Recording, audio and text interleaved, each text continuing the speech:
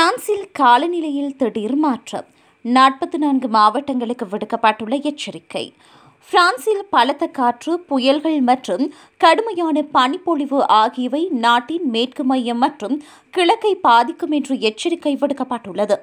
அதற்குமைய சுமார் நாற்பத்தி நான்கு மாவட்டங்கள் இன்று மஞ்சள் மற்றும் செம்மஞ்சள் வானிலை எச்சரிக்கை விடுக்கப்பட்டுள்ளதாக வானிலை ஆய்வு மையம் தெரிவித்துள்ளது.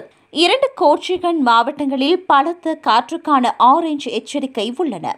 அதே நேரத்தில் பிரான்சின் மேற்கு கடற்கரையோலங்களிலும் சென்ட் மரிதிம் முதல் பிரெனே அட்லாண்டிக் வரை பகுதிகளில் பலத்த காற்று வலுவான அலைகள் புயல்கள் மற்றும் வெள்ளப்பெருக்கு வாய்ப்புகளுடன் கூடிய கனமழைக்கு மஞ்சள் எச்சரிக்கை விடுக்கப்பட்டுள்ளன.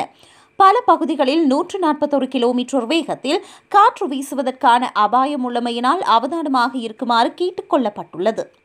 பினிஸ்தியர் பகுதியில் நேற்றைய தினம் பத்து மீட்டர் உயரத்தில் அலை எழுந்துள்ளதாக வானிலை அவதான நிலையம் குறிப்பிட்டுள்ளது. கோர்சிகாவில் இன்று காலை மணிக்கு நூற்று இருபது கிலோமீட்டர் வேகத்தில் காற்று வீசியது. இன்று மாலை மணிக்கு நூற்று இருபது தொடக்கம் நூற்று நாற்பது கிலோமீட்டர் வேகத்தில் காற்று வீசக்கூடும் என்று எதிர்பார்க்கப்படுகிறது. ஆரஞ்சு எச்சரிக்கை மூன்று மணிக்கு அமுலுக்கு வந்து இரவு வரை நீடிக்கும் என்று குறிப்பிடப்படுகிறது. கிழக்கு பிரான்ஸ் மாவட்டங்கள் பனி மற்றும் கருப்பு பனி மற்றும் பனிச்சரிவுகளுக்கான மஞ்சள் எச்சரிக்கையின் கீழ் உள்ளன. சம்பந்தப்பட்ட மாவட்டங்கள் பற்றிய மேலதிக தகவல்களை பிரான்ஸ் வானிலை அவதான நிலையத்தின் இணையதளத்தில் காணலாம். கடலோர பகுதியில் இன்று வெயில் காலநிலை காணப்படும். அதேவேளை நாட்டின் பிற பகுதிகளில் மழை பெய்யும். இது சில நேரங்களில் புயலாக மாறும் என்று எச்சரிக்கை விடுக்கப்பட்டுள்ளது.